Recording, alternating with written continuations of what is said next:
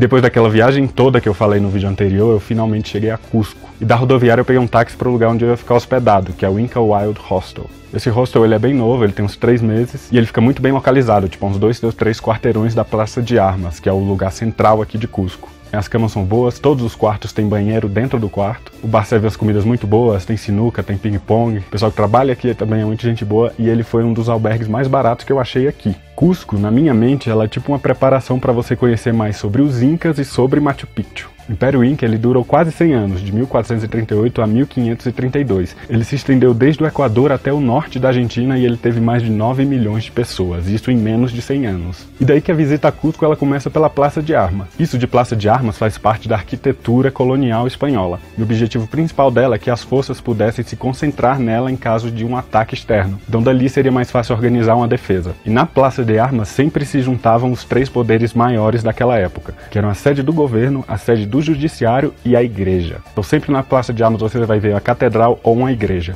Aqui no caso de Cusco tem as duas coisas na Praça de Armas. Uma coisa interessante sobre as catedrais, igrejas e conventos aqui em Cusco, todas elas, sem exceção, foram construídas sobre templos religiosos dos Incas. E isso dá para se ver nas bases dessas construções, porque as construções incas elas têm uma particularidade. As construções incas elas são praticamente uma pedra sobre a outra, ou seja, não tem nenhum cimento que ligue uma pedra à outra, que faça aquela junção que a gente faz hoje em dia. E não dá para colocar nenhum alfinete entre essas pedras, então elas eram polidas muito bem encaixadas muito bem. E daí que dá para você perceber quais as construções são incas e quais as que não são. E eles brincam que tem as construções dos incas, que são as sem cimento, e a construção dos incapazes, que são as construções europeias. Uma coisa que você vai ver bastante por aqui são as cholitas. Elas são tipo mulheres mais tradicionais e vindas do meio rural e que estão bastante presentes tanto no Peru quanto na Bolívia. E o irado disso tudo é que elas realmente se vestem assim, isso não é coisa para turista ver não. Esses são os trajes que elas usam no dia a dia.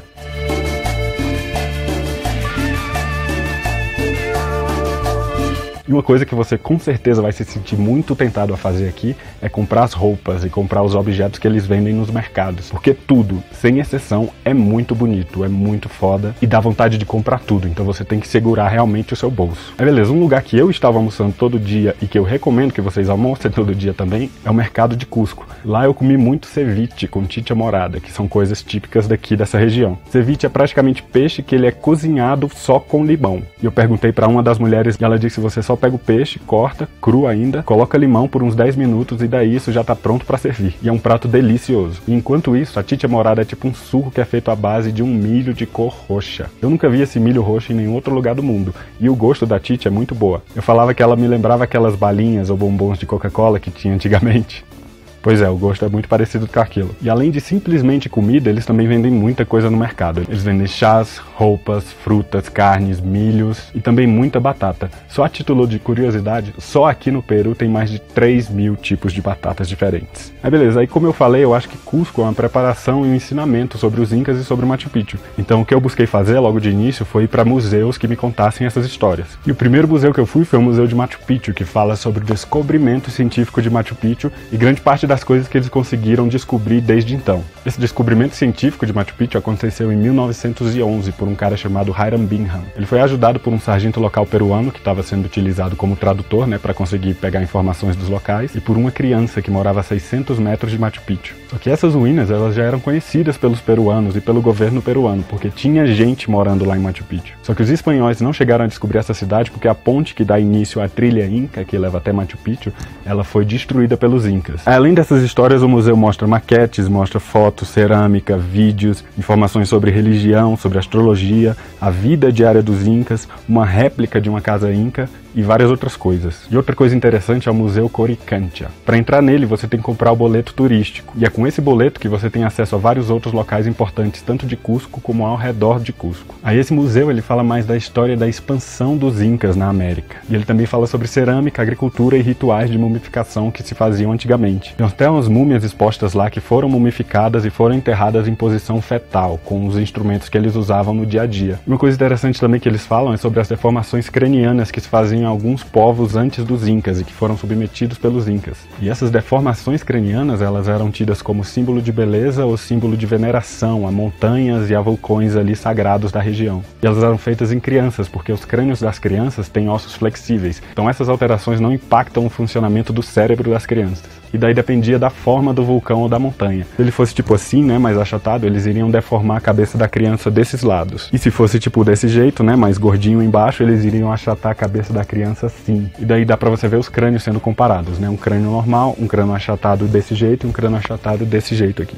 O outro museu que eu indico para você ficar mais por dentro dessas histórias é na verdade um convento e o nome dele é Convento de Santo Domingo. Esse convento ele foi construído em cima do templo mais importante de Cusco, que é o templo de Coricancha. Coricancha em Quechua, que é a língua que era falada pelos incas antigamente e ainda é muito falada aqui no Peru e na Bolívia, significa casa de ouro. Isso meio que logicamente porque ele tinha uma grande quantidade de ouro. Só que o ouro naquela época não tinha um valor monetário como tem hoje em dia. Ele era tipo um valor de adornos e de diferenciar a classe alta da classe baixa. E esse templo ainda hoje possui paredes incas conservadas. Mas a coisa mais interessante que eu vi por lá é que ele mostra detalhes da astronomia inca, onde as constelações eram em forma de serpente, de perdiz, de uma lhama e uma lhama bebê sendo perseguidas por uma raposa e um pastor. Esses são os três museus que eu recomendo você conhecer para você ter mais conhecimento sobre os Incas e se preparar melhor para Machu fucking Picchu. Aí outra coisa aqui sobre Cusco é que ela é uma cidade meio de balada. Então como é que a gente aproveitava a noite geralmente aqui de Cusco? Primeiro a gente ia para um hostel de festa, como o Lockyo Wild Rover, que são os hostels de festa mais famosos por aqui. E daí que toda noite rola festa, você não paga para entrar mesmo se você não estiver no hostel, você só precisa chegar do lado de fora e falar pro segurança que você tá indo pro bar. E a festa nele vai até umas duas horas da madrugada. Depois disso eles te dão umas pulseiras para você entrar em algumas boates selecionadas de graça. E daí essas baladas vão até umas 5, 6 horas da madrugada. Elas são muito foda e elas têm uma mistura de gringos com os locais. Então não é uma coisa simplesmente para gringo ver.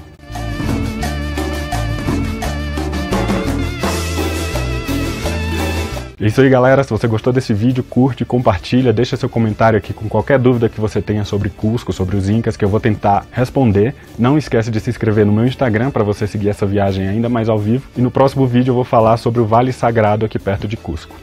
Vamos lá.